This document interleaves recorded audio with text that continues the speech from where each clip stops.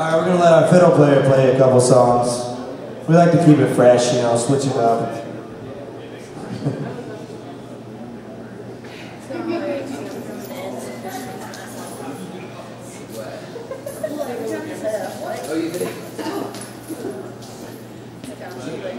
Gee.